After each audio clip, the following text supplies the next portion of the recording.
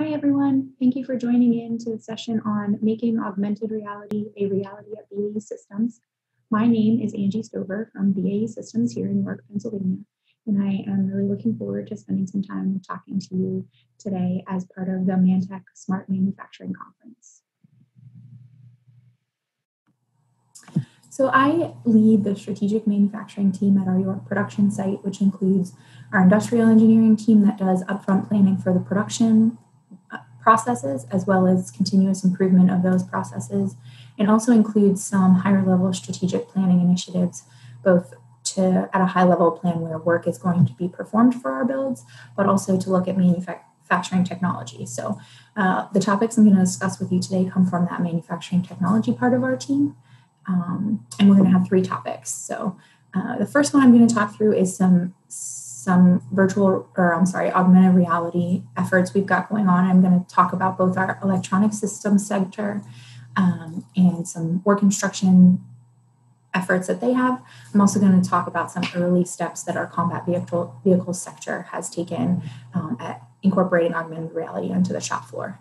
And then I'm going to move into some initial steps we've taken at using virtual reality to do some initial build validations. Uh, and I will spend the last few minutes of our talk um, talking about some partnerships that we've had recently uh, where we've been able to automate some of our proprietary weld processes. So, uh, thank you for joining in, and we'll go ahead and get started with the first topic. So, this video um, is going to be a video about our electronic system sector. Uh, they recently partnered with PTC to develop some augmented reality work instructions for their product, production sites that build hybrid electric uh, public bus transportation systems.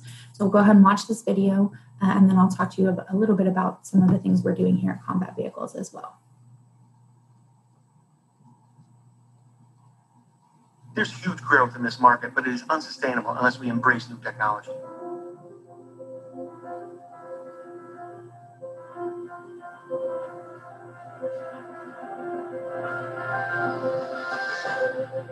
BAE Systems is committed to solving the most complex problems our customers have. Here at BAE Systems, we make the electric propulsion for hybrid drive buses.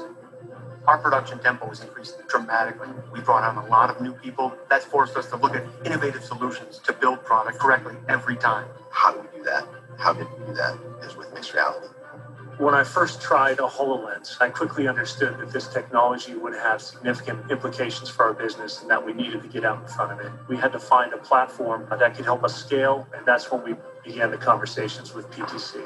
PTC's mission is to bridge the physical and the digital worlds, whether it's manufacturing, operating, or servicing physical products we came along and we had a mixed reality solution to allow them to create experiences for the HoloLens quicker and more efficiently. It's all drag and drop. You don't need a lot of technical expertise. You get up and running right away.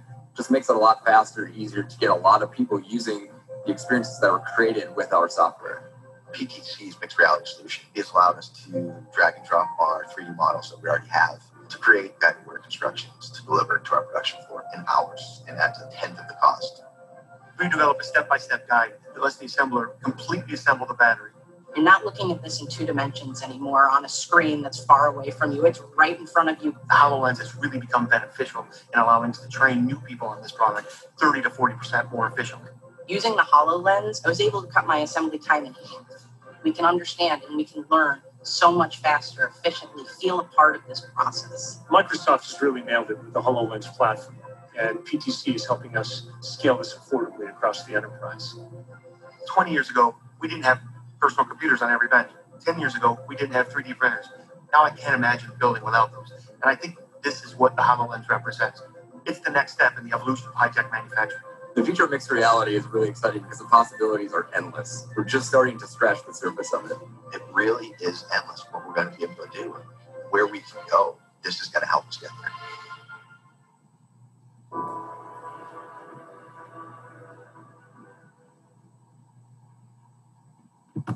Okay, so although we're not as far along in our augmented reality journey, journey in the combat vehicle sector, we are starting to bring this technology into small areas of our production process. Um, and obviously planning to, once we've proven success in those small areas, definitely planning to expand the use of that technology in the future. Um, so one of the areas where we've brought augmented reality into our production processes is in our paint um, process. So, our paint, the manager of our paint area was named is named Jim Harvey, and he was looking for more effective and less time-consuming ways to apply the camo patterns to our combat vehicles.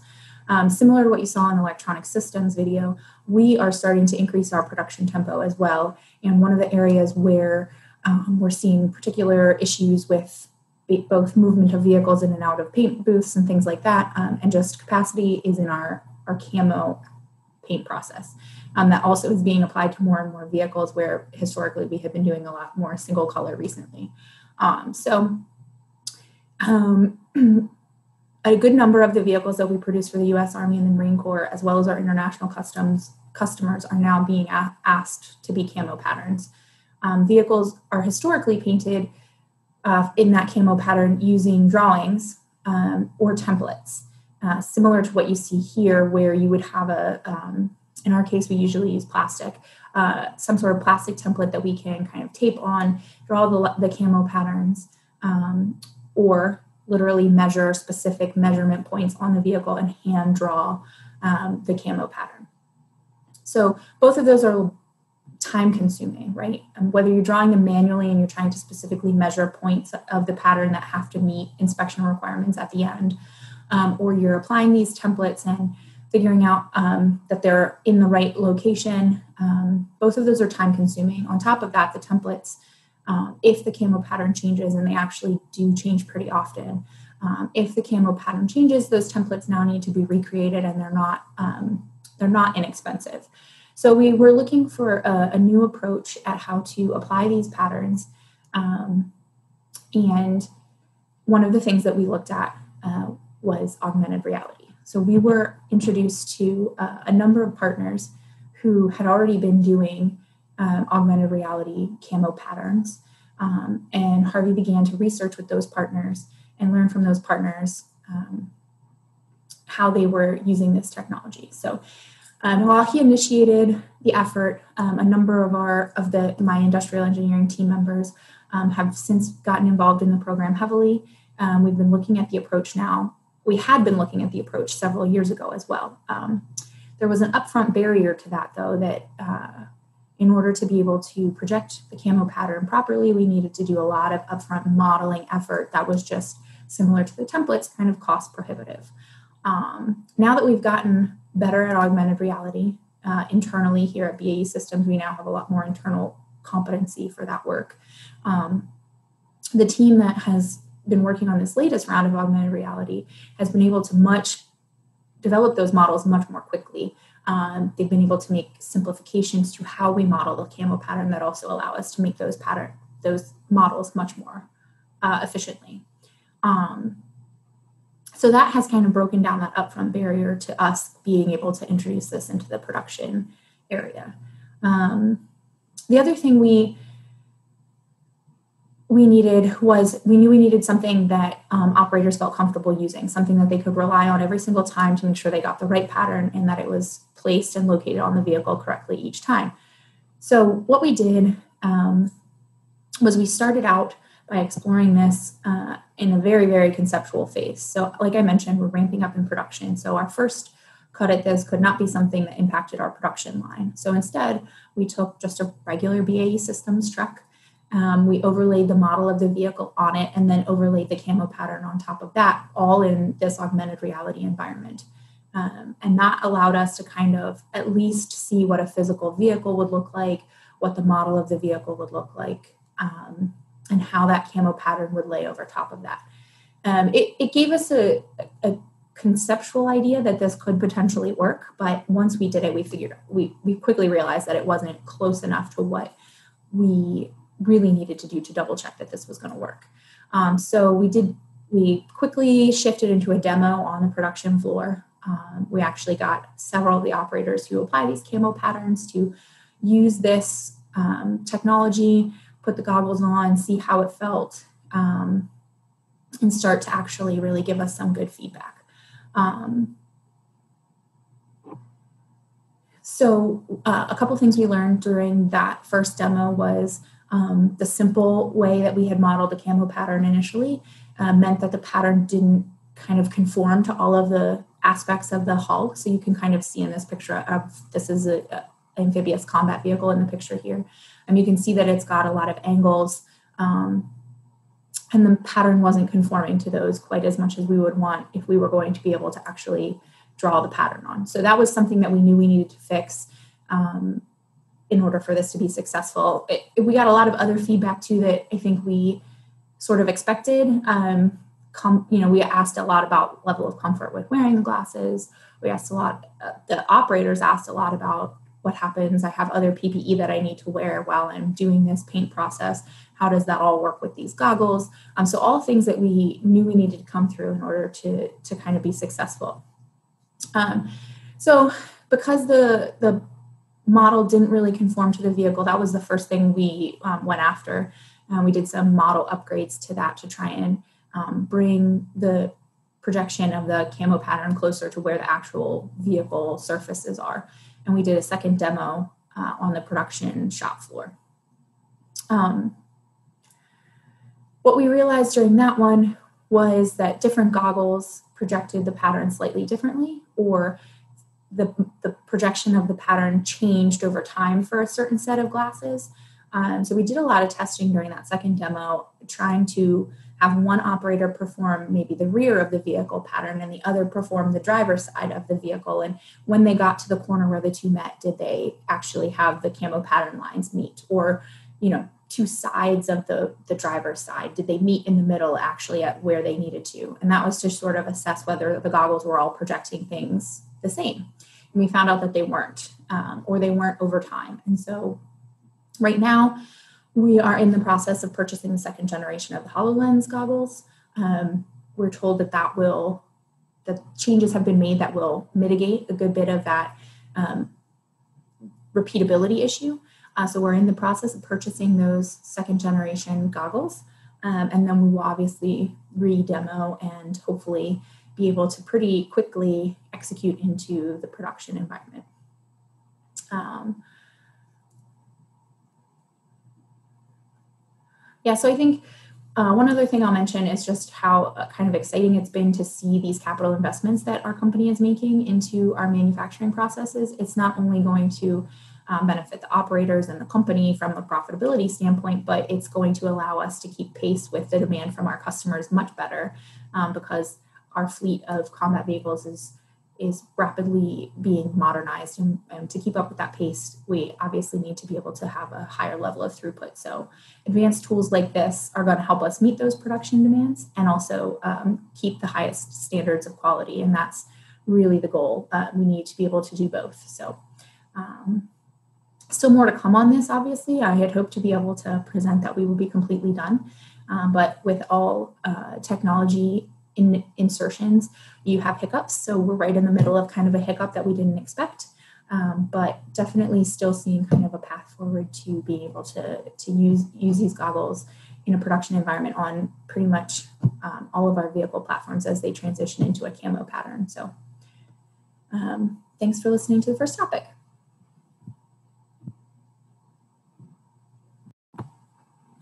So our second topic is going to be virtual assembly, which is really a relatively simple idea. This is the idea that you can build vehicles in a simulated environment before ever touching hardware or making a tool, a fixture.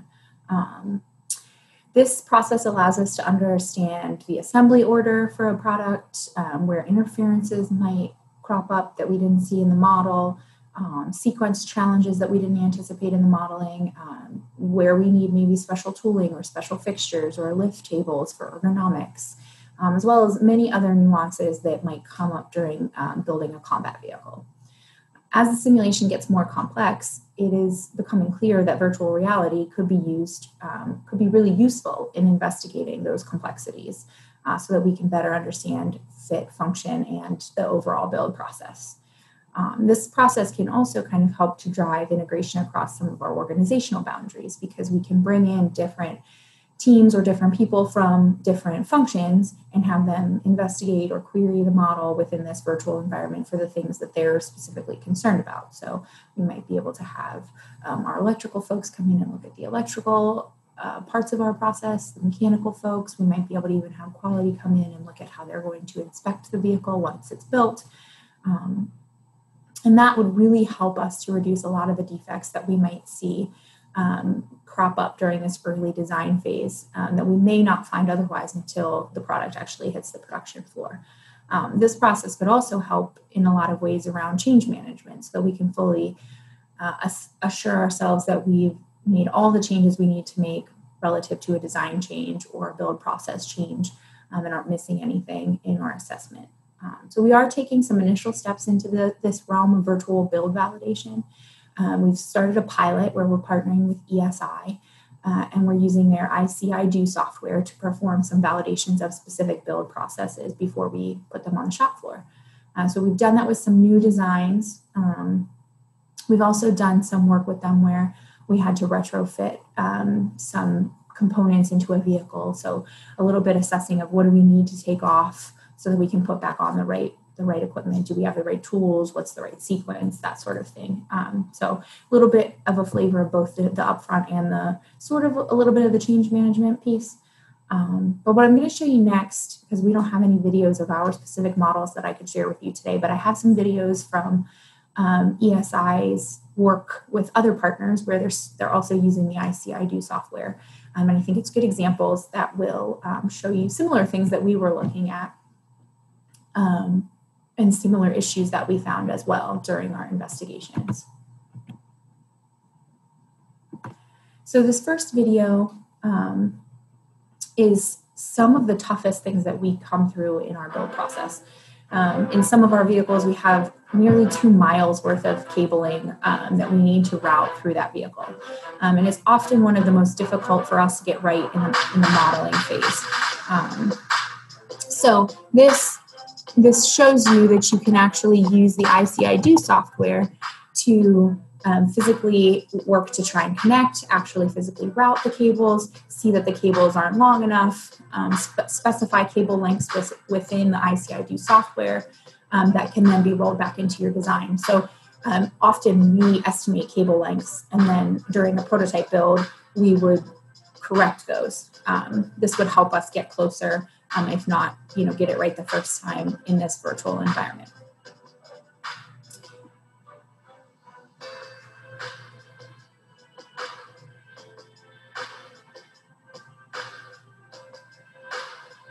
So I think they're showing you here that you can both um,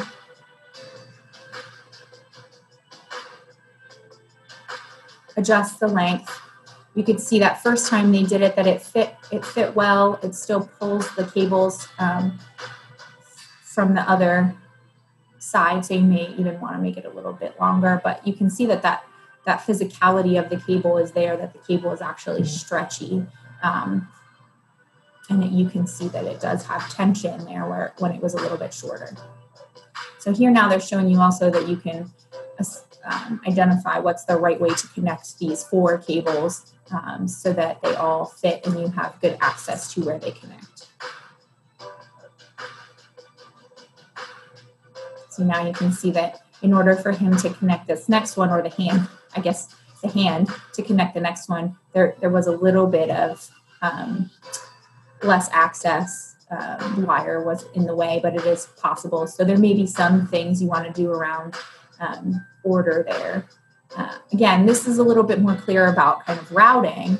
Um, these are the things that we would definitely come across in our um, efforts. Here, they're going to route a cable and mount it to a, to a structure, um, and then also try to connect it. And you can see that it is again a little bit too short when it's routed in the the, the location that was designed for that cable to actually um, connect to its location. So they're going to go into the software and actually change the cable length live um, and then show that they're able to uh, connect it once that cable length is adjusted.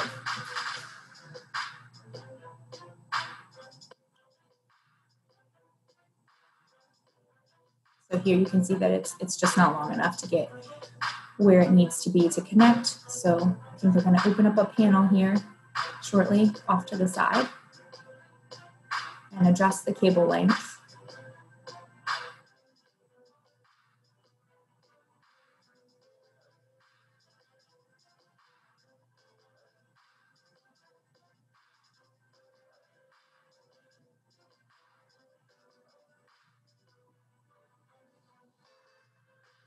Here they go. We're going to add some length to that cable.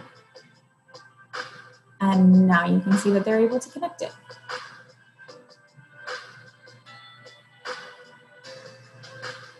So again, these are a lot of um, very, very similar things that we would come across as we were looking at the ability to route cables during um, a combat vehicle build as well.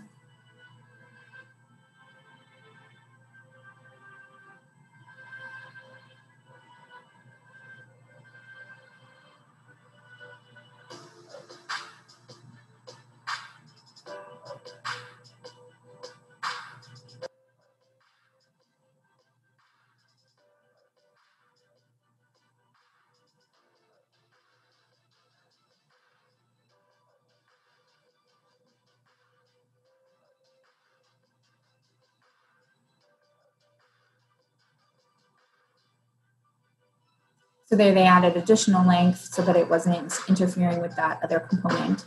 Um, but what you saw at the bottom there was that once you have validated that you have the right length, you're actually able to export some of that data um, back out to your CAD objects. So um, this next one, again, um, a little bit of a different flavor, but similar from the same, same partner, ESI, using the same software, ICIDO.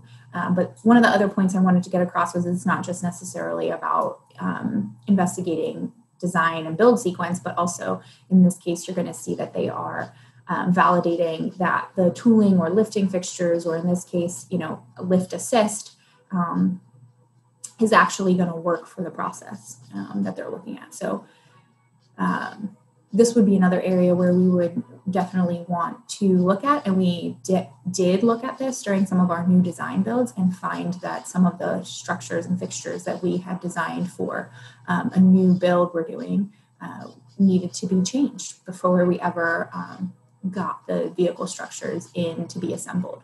Uh, i think the, the um, holding fixture needed to be raised um, several inches in order to be uh, compatible with the the um, turret structure that we were looking at.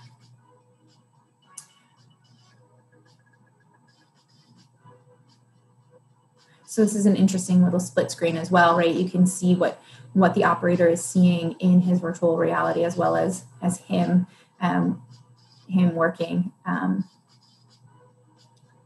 so there they've they've installed the fixture onto the vehicle now they're going to actually use a tool. And um, ICIDO does have kind of a library of tools, um, but can also import special tooling. Obviously, you saw the, the lift assist. Um, so um, that's another capability of this software that we have certainly utilized as well as the standard tooling as well as the um, as well as the special tooling and fixtures that we could import our own, own models of. Again, he's going in this case would be checking that you can you know connect everything that you have access to rotate and actually perform the, the work that you're performing.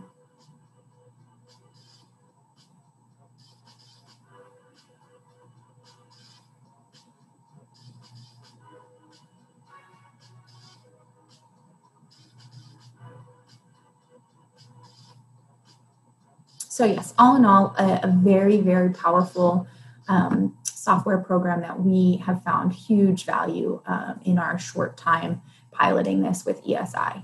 Uh, so what I did want to go through was just a little bit more specifics about what we've been using the, the software for. Um, so our specific pilot cases, we were able to merge some of our existing vehicle models into this ICIDO environment um, and then used those with um, both new kind of draft work instructions that we had um, and a draft assembly sequence and we used those to um, to validate that the work instructions in the build sequence build sequence were appropriate. Um, this included the use of, like I said, a suite of the standard tools as well as integration of our, our specific tooling or fixtures that we had. Um, and then we reviewed each task in the work instructions um, for a number of things. Um, so they're kind of listed here, but I'll just go a little bit more into detail. So we were looking for correct order. Um, that's namely, is there a previously installed item that is blocking access to that area? Are all the mounting brackets in place to actually mount some other piece of equipment?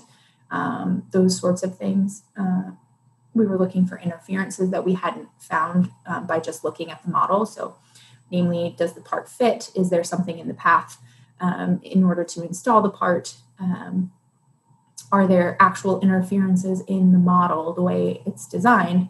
Um, is there clearance to get a fastener installed if you've got to uh, install a fastener for whatever you're uh, assembling as well? We were looking at mounting provisions just to make sure that the holes line up to the part that's being mounted to them. Again, access in general. Um, is there enough space to get the part in, to get your hands in, to do what you need to do to install it, um, to get any necessary, necessary tools in there to install as well. Uh, we were looking at the parts list um, to make sure that um, the work instructions and the model part numbers matched, but also that we had everything that we needed to be done with the installation at the end, end of the assembly. So, was something missing in that work instruction that we really actually needed um, to complete the installation? Um, and then also just looking at clarity. I mean, um, in some cases, we found that you needed to kind of install in a certain orientation and then rotate parts maybe or something along those lines. So we were just double checking that the work instruction gave kind of all the information or all of the best practices about the installation of the, that particular equipment um, so that the operator could uh, understand what he needed to do as much as possible. Um, so as you can see here, uh, we definitely found a number of issues during even our small pilot. Um, so we found some missing hardware um, and an interference between parts that we hadn't found prior to this effort. Um, we also found that we didn't, in this case, um, on the top left, we didn't have any instruction on how to um, install hardware. I'm sorry, that's the, the bottom left. We didn't uh, have any instructions on how to install the hardware for this particular installation effort. Um, and then we also found a build sequence that tried to install a bracket before the corresponding grommets had been installed, which is not feasible. So um, th- this is just a small sample of the num- of the issues that we found. Um, to give you an example, um, we did find, like I mentioned, areas where you needed to um, perhaps have a specific orientation in order to be as successful as possible at orient at, at installing something. We did find um, a sequence that really didn't work, you know, sequences that really didn't work, and we needed to reorder things. Um, a number of different issues. So, like I said, this process has been hugely successful for us, and it's been so successful that we've actually decided that um, the team that had formerly been working on this with us was not locally um, situated at our York production site. So we've gone ahead and actually created a build, a virtual build validation space right local to our production floor, um, and are starting to build that capability and staff that that space up um, so that we can continue to look at build sequences, but also start to look at things like line layouts. Um, material presentation to the line, maybe material flow within the shop floor as well. Um, so we're, we're definitely looking to expand this capability based on the success we've seen um, during this early pilot with ESI.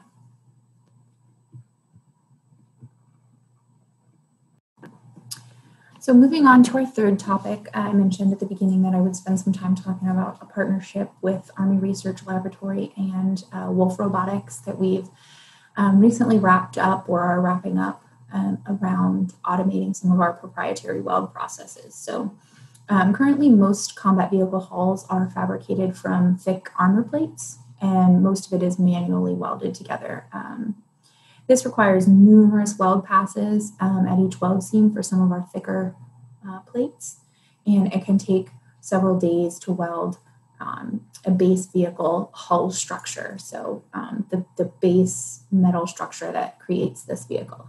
Um, we have advanced weld technologies to reduce those those weld num- the number of weld passes um, and they've been tested and proven uh, but them many of them are are too hazardous to be performed uh, manually by a person um, so and prior attempts at um, automating them have have also been done um, but largely focused on automating long straight seams um, and so this effort was looking at taking some of the more complex shorter um, different geometries and actually creating a robotic weld cell to be able to incorporate the, the weld technology that we've proven and tested in kind of a new way.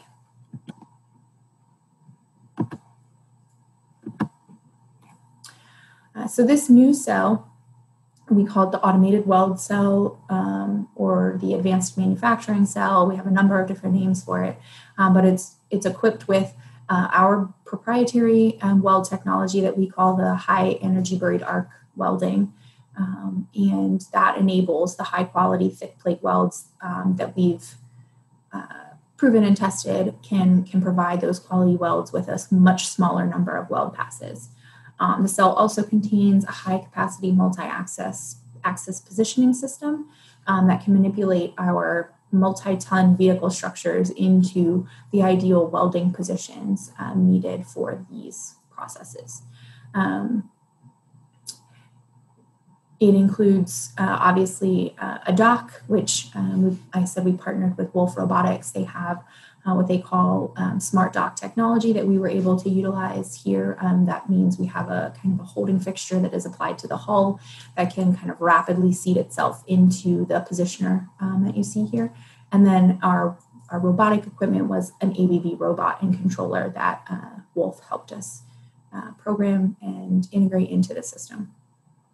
Um, this robotic weld cell has multiple benefits for uh, what we call next generation combat vehicles. So, the future new design vehicles that we're currently working on to modernize the fleet, um, as well as quality and performing uh, weldments in a, much higher rate um, and results in much better vehicle performance. Um, and the automation that we've been able to put into this obviously reduces the weld time. Uh, we're estimating by nearly 80%. Um, and most of our data at this point is, is confirming that that is the, the actual return on investment that we will see. Um, and that is important to us. Again i mentioned it earlier in the in the discussion. We are ramping up our production rates significantly to meet our customer demands. And so the ability to automate and make these weld processes occur much quack, quicker i almost said quacker much quicker um, is critical to us being able to meet those delivery demands so um, again the development, integration, and prove out of this robotic cell was definitely a partnership between the U.S. Army Combat Capabilities Development Command um, Army Research Laboratory down in Aberdeen, Maryland. Um, obviously, BAE Systems was involved in this effort highly, um, and we are the what they call the transition partner. So we are actually um, have actually transitioned this into a pr- production environment. Um, and then also uh, a huge part, part of the partnership was Wolf Robotics. Um, all of this work was done in support of the initially support of the Armored Multi-Purpose Vehicle Program, which is um, our robotic weld cells first kind of customer, quote unquote. Um, however, because of the success of this weld cell, we are already in partnership with Wolf to purchase a second unit um, for additional combat vehicle production needs uh, at our York site. So, all in all, very successful partnership. Um, so, I wanted to go in a little bit about um, how we went about this automation. Um, it was very much uh, a step by step kind of gated approach uh, that we took. So the initial feasibility assessments, um, preliminary and final design, and then the integration into the production environment were very well um, controlled. We had tests and um, results that we wanted to see before we were ready to move to the next stage. Uh, so as owners of the kind of the proprietary weld technology, BAE Systems um, provided that kind of initial concept of the weld equipment that we would need to be successful. Um, but Wolf was critical to the partnership in providing kind of the initial concept of what the robotic equipment would need to be and what the positioning system should be. Uh, they once we've kind of combined those concepts together, Wolf was able to perform kind of a detailed simulation of the weld process. Um, and that we, we call that we called that the reach study because really what was going on there was both to understand um, which weld seams we could reach which we had the most likelihood of actually being able to weld in a good position and get quality welds um, time after time. Um, we also at that point once the the reach study was done or kind of in parallel i guess with the reach study we did a lot of feasibility tests. So we were using the actual weld equipment that we uh, were planning to install, we were using a lab version of the same robot, and we were doing as many uh, full length passes of the welds and um, things like that to kind of make sure that the equipment all worked together and that um, as much as we could at that subscale uh, phase, trying to prove that kind of the movement of the hull and the movement of the robot around the hull wouldn't cause any issues for the welding. And, that did, because we did it kind of at a subscale, you'll find that we did find issues when we went to full scale um, that we couldn't see at that subscale. So I'll talk about that on the next slide. But um, and then so once we kind of, we really were um, happy with the results of the reach study. Uh, we couldn't get every weld seam, but we could get a good number of the weld seams uh, for um, the more complex part of the hull structure. Uh, and the feasibility studies proved that the equipment kind of it looks like it really worked well together.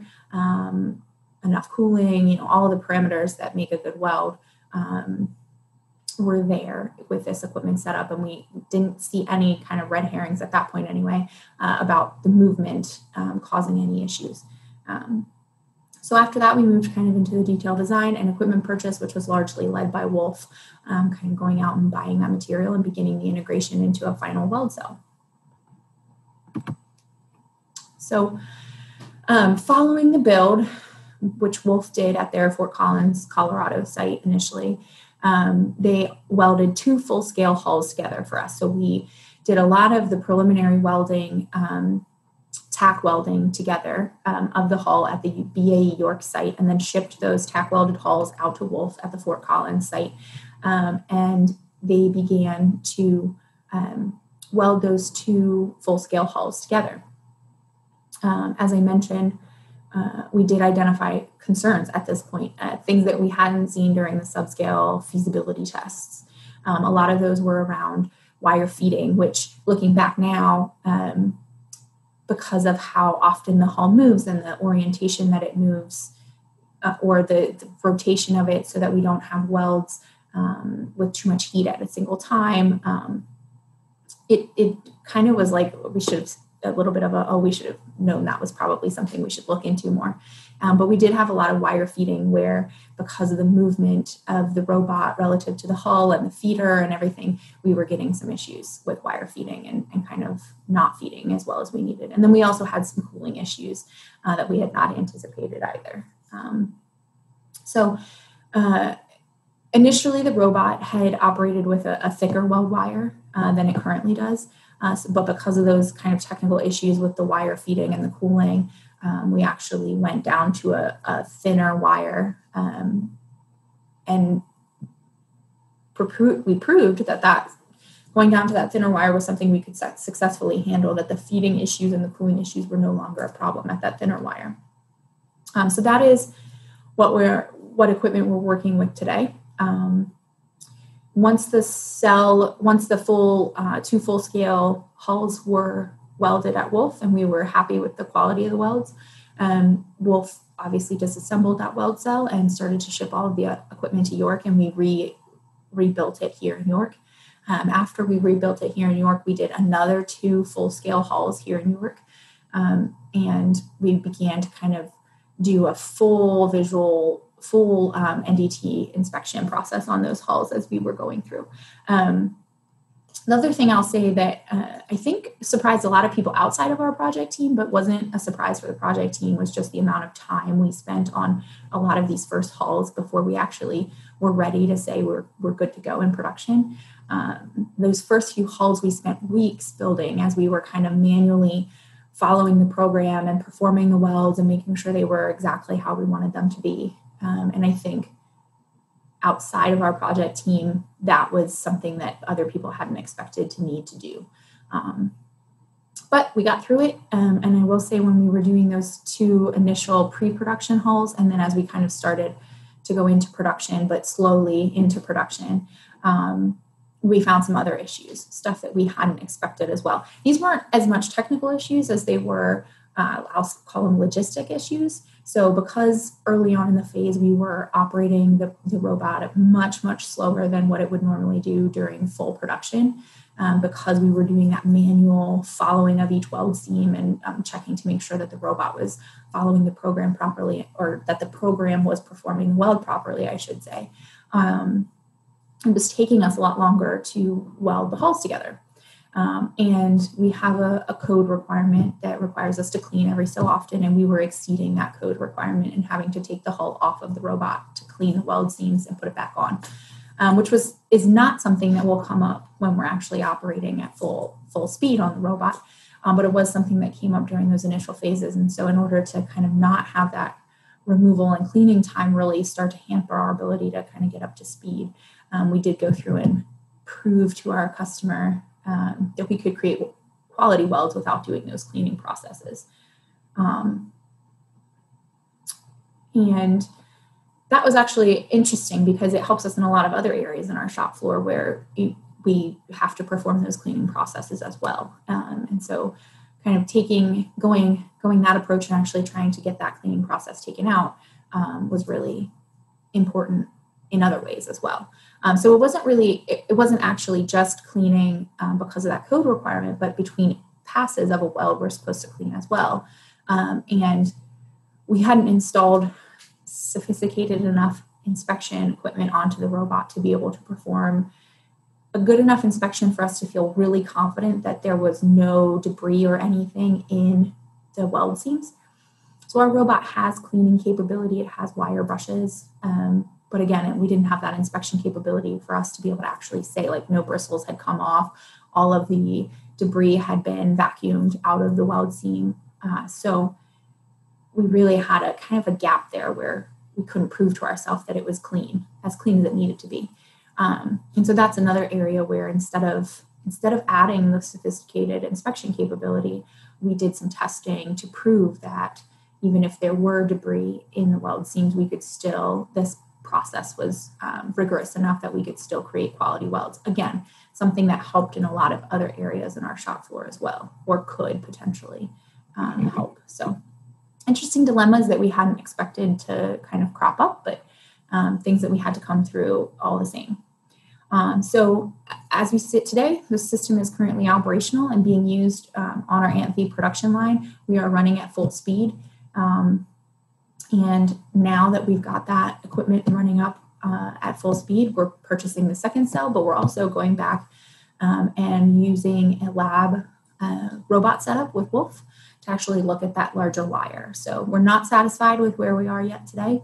Um, we really do think that larger weld wire is something that we can execute and, and make some tweaks to the equipment and really be able to reduce the cycle time on this weld process even further. So we do have that study kind of coming up here at the end of the year with, again, partnership with um, Army Research Laboratory and Wolf Robotics. So more, I guess, a little more to come on this one as well, but also a, a successful transition to production for this piece of work as well.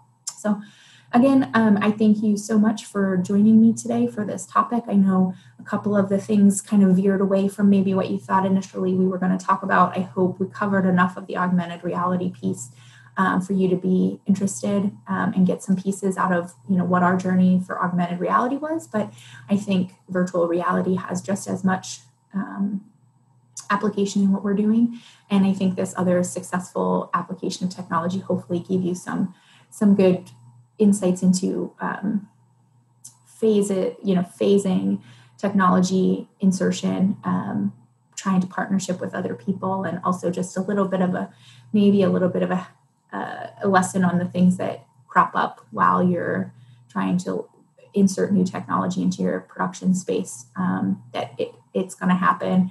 Um, it's just a matter of kind of where where it happens and being flexible enough to uh, adapt and, and keep moving forward. So again, thank you for your time today. Uh, and I look forward to our live Q&A session. Thank you.